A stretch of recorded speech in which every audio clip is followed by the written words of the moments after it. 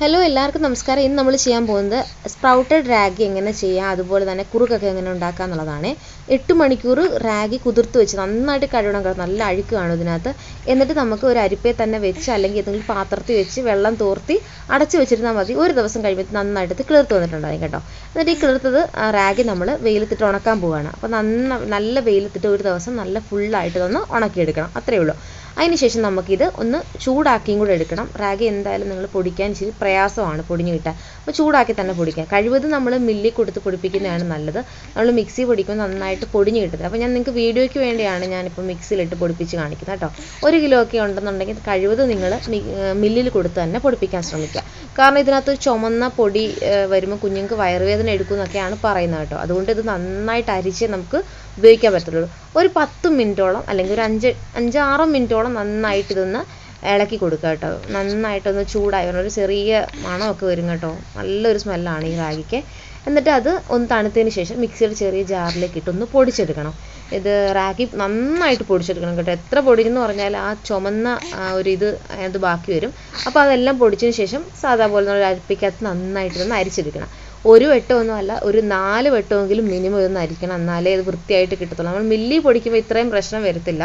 പക്ഷെ നമ്മൾ വീട്ടിൽ മിക്സിയിൽ പൊടിക്കുമ്പോൾ ഇച്ചിരി പാടാണ് ഇത് പൊടിഞ്ഞ് കിട്ടാൻ കേട്ടോ. കുഞ്ഞു മക്കൾക്ക് കൊടുക്കുമ്പോൾ പ്രത്യേകിച്ച് നമ്മൾ ശ്രദ്ധിക്കണം. കാരണം അത് കുഞ്ഞുങ്ങൾക്ക് വയറുവേദന എടുക്കുന്നതാണ് ഡോക്ടേഴ്സ് തന്നെ പറയുന്നത്. അതുകൊണ്ടാണ് നമ്മൾ ഇത്രയും കെയർ ചെയ്ത് ഇങ്ങനെ പൊടിച്ചെടുക്കുക അല്ല അരിച്ചെടുക്കുന്നത്. ഓക്കെ അപ്പോൾ ഒരു മൂന്നാൽ പ്രാവശ്യം നന്നായിട്ട് അരിച്ചെടുക്കുക. അരിച്ചരിച്ച് വരുമ്പോൾ ലാസ്റ്റ് അതിന്റെ ആ ചുമന്ന പൊടി മാത്രമായിട്ട് വരും കേട്ടോ. ഓൾറെഡി നമ്മൾ പണ്ടൊക്കെ കുതിർത്ത് വെള്ളത്തിൽ അരച്ച് പിഴിഞ്ഞെടുത്തൊക്കെ ആയിരുന്നു കൊടുക്കുക. അപ്പോൾ ഈ ചുമന്ന ഈ പൊടി അതായത് ആ മോൾ ഭാഗം അതിനകത്ത് വരത്തില്ല.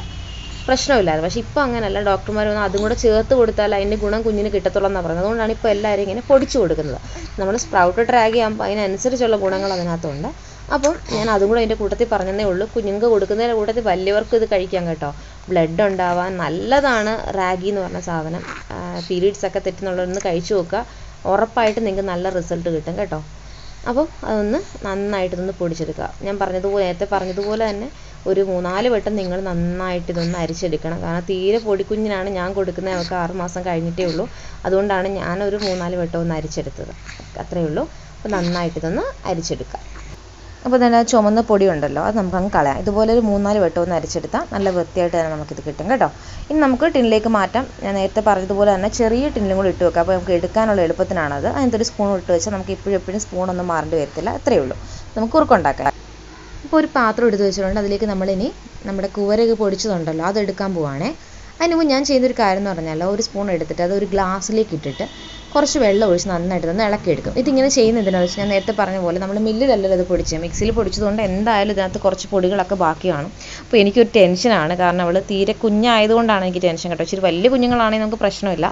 വലിയവർ കഴിക്കുകയാണെങ്കിൽ തീരെ ഇത് അരിച്ചില്ലെങ്കിലും പ്രോബ്ലം ഇല്ല. അപ്പോൾ അത് കുഞ്ഞായതുകൊണ്ട് എനിക്ക് ടെൻഷനാണ് അവൾ അപ്പോൾ ഞാനിങ്ങനെ ഇളക്കിയിട്ടൊന്ന് അരിച്ചെടുക്കുമ്പോൾ പിന്നെയും കുറച്ച് എന്തെങ്കിലും പൊടികളൊക്കെ ഉണ്ടെങ്കിൽ ബാക്കി കിട്ടും കേട്ടോ. ഒരു വട്ടം ഇങ്ങനെ ചെയ്താൽ മതി. എന്നിട്ട് നമുക്കിത് അടുപ്പത്തേക്ക് വെച്ചൊന്ന് കുറുക്കിയെടുക്കാം. അപ്പോൾ ഞാൻ മധുരത്തിന് വേണ്ടിയിട്ട് പനങ്കൽക്കണ്ടത്തിന്റെ വെള്ളം ഒഴിച്ചിട്ടുണ്ടായിരുന്നു. അതൊന്ന് കാണിക്കാൻ വിട്ടുപോയി.